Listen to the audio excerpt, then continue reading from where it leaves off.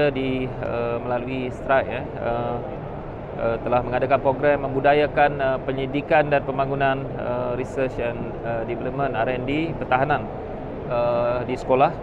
di mana kita mengadakan di uh, pavilion uh, Mindef uh,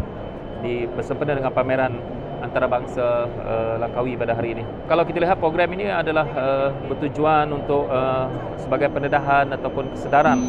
bagi uh, menggalakkan uh, pelajar dalam bidang sains dan teknologi ya, secara amnya dan secara khususnya dalam aktiviti pendidikan pertahanan. Sebab itu kita tahu bahawa kita di strike kita uh, mempunyai ramai saintis yang terlibat uh, dalam penyelidikan uh, pertahanan ini. Dan uh, kita yakin bahawa untuk kita meneruskan uh, agenda uh, Malaysia uh, Madani ke hadapan itu kita memang uh, memerlukan uh, satu uh, program pembudayaan terutamanya di kalangan para pelajar. Kerana ini adalah satu uh, aspek penting kerana kalau Malaysia mahu ke hadapan uh, dari uh, pembudayaan ini mesti dimulakan daripada peringkat sekolah. Sebab itu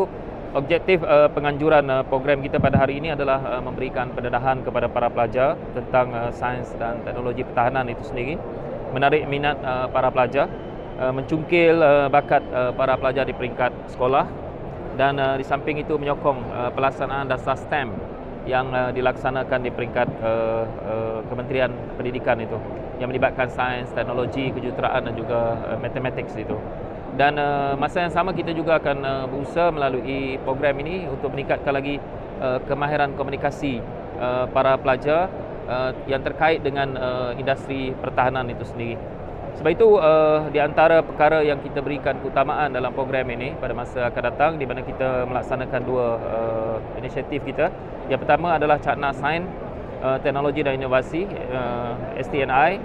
uh, peringkat pertahanan. Yang kedua adalah pertandingan inovasi yang uh, bertemakan Future Soldier di mana kita tahu bahawa uh, aspek uh, pertahanan ketenteraan ini uh, melibat uh, banyak uh, teknologi pertahanan itu sendiri dan keperluan pertahanan itu. Jadi kita uh, yakin bahawa pelajar memang mempunyai inovasinya tersendiri dan kita tahu bahawa pelajar bukan asing eh, dalam uh, uh, industri maupun teknologi pertahanan kerana mereka sering uh, terkait Uh, dengan uh, kemampuan digital untuk mereka melihat uh, perkara-perkara yang melibatkan inovasi. Jadi kita mengambil peluang ini supaya uh, pelajar uh, kita dapat mencongkil kreativiti uh, para pelajar dan kita yakin bahawa permulaan hari ini adalah untuk uh, masa depan Malaysia juga. Sebab itu uh, kita akan mengadakan pertandingan ini iaitu majlis penutupnya akan diadakan pada bulan uh, November di mana hari ini kita bermula uh, November nanti kita akan melihat jauh mana pencapaian para pelajar Uh, dalam uh, program uh, inovasi dan membudayakan uh, industri ataupun teknologi pertahanan ini dan uh, kepada mereka uh, uh, boleh uh, ingin melihat lanjut tentang uh, program ini boleh uh, melalui strike uh, uh, melalui program-program ataupun berhubung dengan Dr. Ridwan Yahya uh, melalui email ridwanyahya@strike.government.my dan uh, kita mengharapkan uh, bahawa program ini akan dapat uh, memberikan sesuatu yang uh, impak terbaik kepada para pelajar gitu. Keseluruhan daripada uh, sumbangan tadi sebanyak RM108,000.